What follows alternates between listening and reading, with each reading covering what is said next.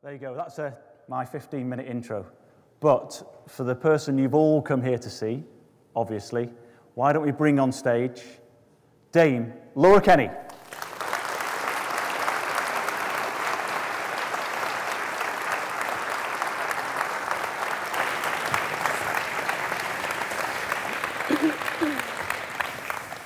Laura, how are you doing? Your, um, is your mic, your mic's all, is it, you ready to I'm go? assuming it's working. Am I working? Am I on? Can you hear all right at the back? How, how's the fitness at the moment? Um, you're saying you did a bit of running as well. Yeah, That's yeah, kind I of, uh, have. Yeah, I've started running. I mean, I call it so. Like with Albie, I said I was exercising because you get caught in this funny. I don't want to promote like you know when you're pregnant and saying that it's safe for everyone because it's really like how what you've done before Mm. um, is what is deemed safe. And obviously, I was at a high level before, so for me, going out for three, four hours is what I was doing anyways. Mm. Um, but just this time, it has felt really different in terms of, obviously, with everything that's happened pre falling pregnant this time, it just, I feel really vulnerable, and it just feels a lot scarier. And like, I obviously promote going out on the road. You know, I love going out, fresh air, riding my bike. But for me, just at the minute, I haven't quite got past the point where I feel completely okay with this pregnancy. So I've just been in the garage um, or running, like you say, because running has been my way of getting out of the house rather than just using the gym at home. Um, so yeah, I'm going to do my first 10k on Sunday. Are you? Yeah. I mean, uh, if I want to go under an hour. I mean, really, I want to do like 56 minutes, but I'll say under an hour just in case I don't make it. There's, and also, in uh, about four weeks' time, there's a, there's a Welshpool 10K. You could come down and do that. Well, maybe, yeah. Well, let me see if I actually survive this one first. But it's great, I mean, obviously, you know, because I can only imagine it, you know, but um, as an Olympian, you must be, you know, you, you've got to you've got to try and keep that element of fitness. And obviously it helps with the pregnancy, right? The fitter you are and so on and so forth. But have you got a kind of like, are you just taking it week by week, as it were? Yeah, yeah. I mean, to be honest, day by day, um, it's just so different. It's ju- just honestly, I mean, with Albie being there as well, obviously this has been different. And he, if he doesn't sleep very well, or if Jason's been away and I'm sole parent, then it's just really different to how tired I am to what I can actually do that day. Because obviously Jason's now the British cycling coach, so he's away currently at the Europeans. And like last night, Albie didn't sleep very well. Like he was in our bed and it was just a nightmare. So when I woke up this morning, I was just like, oh, like when he goes to school, I am going back to bed because that's just that's Yeah. just how it is. Whereas Yeah. really, I set my heart on doing three hours. So it's just like a fine balance of Three hours of sleeping instead of three hours of basically, yeah, yeah. You just got to take it one day at a time, as you say. Exactly. Um, but it's fantastic news, and um, Oh, really, really chuffed for you. Uh, I, I definitely don't think I've in, interviewed a dame before. Um, I've interviewed a couple of sirs, but definitely not a dame. Um, really big honour for me. I mean, do you insist on when you're down the supermarket and places like that? Do you know? Do you, do you kind of say, "Excuse me, person on the I mean, I checkout, it's Dame Laura Kenny"? I didn't see you bow when I got onto the stage. Yeah, exactly. Yeah. No, not at all. I mean, to be totally honest, when you get the email, I mean, back pre-COVID, it was a letter through the post, but now it's an email um, when you're getting on it. It just feels so surreal and like so far away from what Jason and I are and are about that it's just, it just doesn't, it almost doesn't feel right. Like, I don't know, it's, it's like a funny, yeah, I don't know. It's obviously nice to have, Yeah. but it just doesn't seem like us. And because you're married to a knight, you're also a lady. Yeah, so I got to choose actually. Um, Did you? Yeah, so they rang us. Well, I mean, to be honest, I actually missed the first phone call, and then I got a really demanding phone call saying, You've not replied. and I was just like, Oh, I didn't know how to reply. But so, yeah, so I could either have been Lady Kenny or Dame Laura. If I'd been Lady Laura, I'd have taken it. But, Yeah. but why have I got to drop my name? Lady Laura, I mean, it sounds like you should have a pop career. Yeah, it sounds like I should have a Yeah. crown. but no, I didn't like Lady Kenny, so no, I chose Dame Laura instead. Yeah, I think so. And it kind of puts you on that level field, doesn't it, with, J- with Jason as well? That kind of like. Yeah, well, I don't know. Yeah, it feels like my achievement. Exactly. I suppose then, so for people getting onto cycling, um, people who might not have been onto Wikipedia or have been under a rock for the last few years and not seen the, uh, the media and all the rest of it, the greatest ever female Olympian, bar none. Six Olympic medals, five of them gold, having won both the team pursuit and the Omnium, uh, Omnium at uh, 2012 and 2016 Olympics. and the Madison at 2020, along with a silver medal from the team pursuit at the 2020 Olympics. You are both the most successful female cyclist and the most successful British, British female athlete in Olympic history. Um, in total, you've won, this might have gone up by now, I don't know, 63 medals at UCI, UEC Europeans, UCI World Cups, Olympic, Commonwealth Games, 44 gold. It's bananas. And you're 30 years old. I mean, that deserves a round of applause, doesn't it, I think?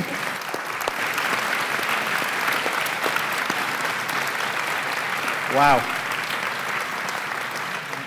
That must, that's incredible. I think it's incredible how much you've packed into those 12 years. Yeah, I mean, obviously it's not just down to me and the bit that of I course. do. There's been so many people that have played a massive part in that. Um, I mean, it only sounds mad because you're reading them all in one go. really, it was over quite a long period of time. yeah, sure. Sort of 12 years or so, isn't it? Yeah, Since your, yeah. your first British senior um, title. Um, but down it back again, if we just kind of take it back a little bit, or right the way back, in fact, um, one thing I didn't know, but before obviously doing some research, and um, when Alan discussed it, you know, said that, you know, Dame Laura's coming, I was starting to look into it and went back into your family history. And obviously, you were born in Harlow, but with a collapsed lung and diagnosed with asthma Yeah. at birth, um, at a very early age.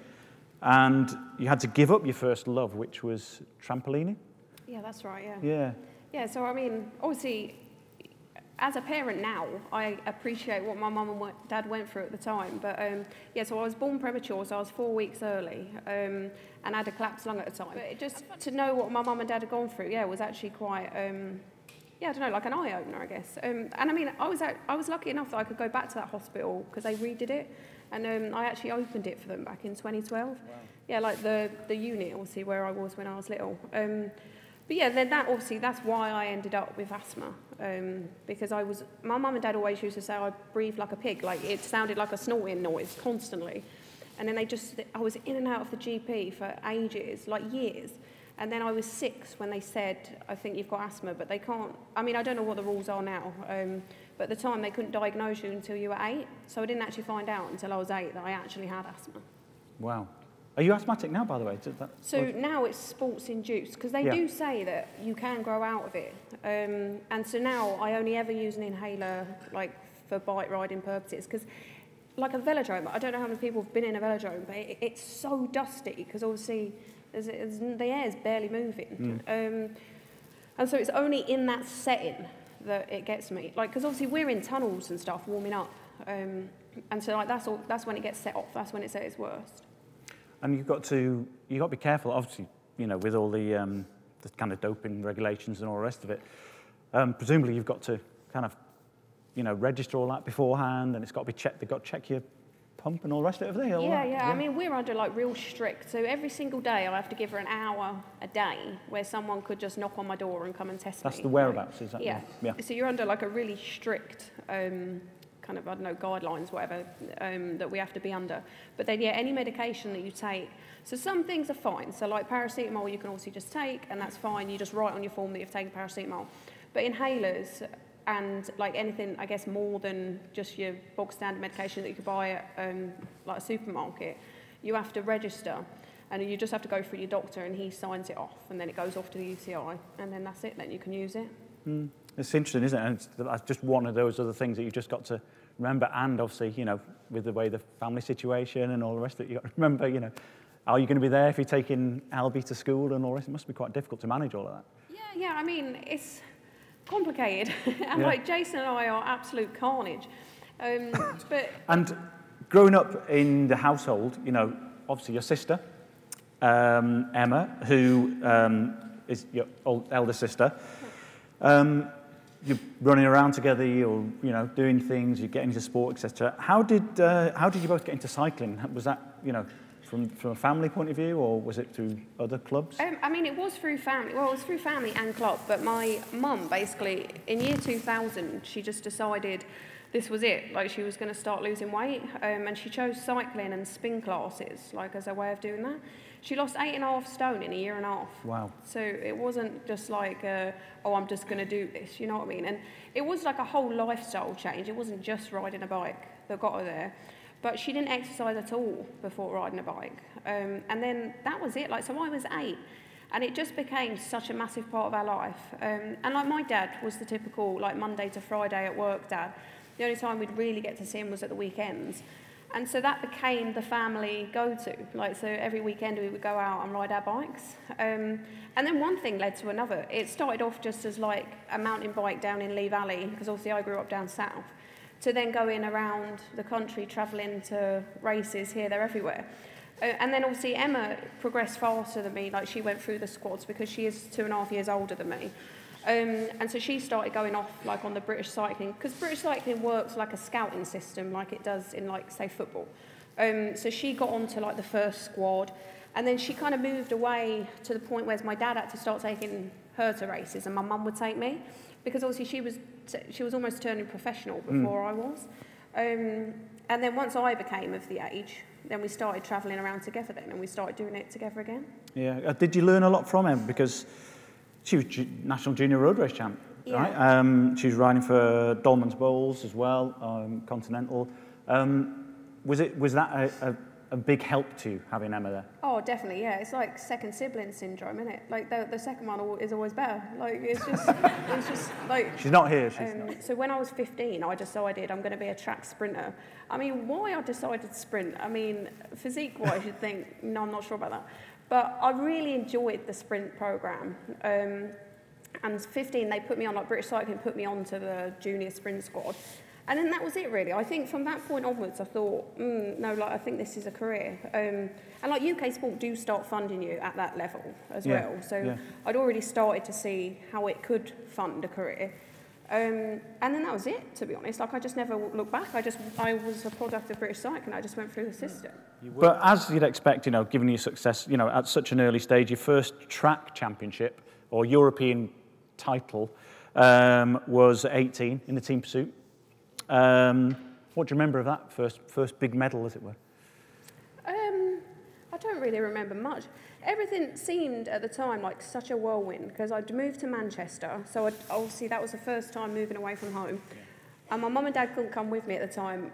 Well, because I mean, they were both working, so it was difficult. Um, and I remember I had a little mini, and they loaded up my mini and kind of sent me on my way. And the set of, so British Cycling give you a flat that you that you like you don't have to pay rent for. The, for the first couple of years, they give you a flat, they give you a place to stay. And I remember moving into this flat just like, what am I going to do? Like, I always say I had no idea. My mum just literally looked after us to the day that I left. Even so much as stupid things like turning the washing machine on. Like, I'd never turned a washing machine on. I do not. no. Wow. I mean, oh, there's some bad stories about what happened. I mean, I set fire. Okay, right, I've set fire to Here we go. I've set fire to a few things in the past. but the two worst things was I set fire, and it wasn't actually my fault, I'm going to say, okay? I set fire to a jacket potato in the oven. At least it's in the oven. Yeah, so, yeah, but that happened because the people before me just left fat in the. I didn't think to take the tray out, so yeah. that set fire. And then I set, I blew a microwave up. Did you? By a complete accident, with a sweet potato, because I misread the instructions. She told instructions me, on a sweet potato. it was from my nutritionist. She okay. just gave ah, me a recipe, yeah. and she said five minutes each side and I stuck it in for 10 minutes, just, and it set on fire. Seems logical. And you don't need tin foil on it to set it on fire. or blow the microwave door off. Let's go straight into 2012. Yeah. Now, Ed Clancy's been here, Alice has been here, and they just said it was literally just the most incredible, bonkers whirlwind in the UK, in a tumble dryer yeah. of a year. How was it for you? I mean, yeah, the same to be honest. I mean, everything for me happened so fast. So I was junior world champion in 2010. They asked me to go to the Worlds in 2011 and we go on to win. And at the time, I'd never even thought about the Olympics. I was part of this program that my council ran where they had 20 12 year olds, like, I don't know, like raise these flags or whatever for each borough that the Olympics was going to have an effect on. Because obviously I grew up like, only half an hour away from that velodrome. And obviously at the time you're thinking, well, none of these kids are probably going to make it to the Olympics. Like it, it, it, was insane, and it had never it never crossed my mind that 2012 was going to be the Olympics I go to. It was always 2016 was the target, And then when we won in 2011, obviously the team pursuit was the Olympic event. And it was from that point that I thought, hang on a minute, like I'm on some sort of fast track. And I could feel it within British cycling.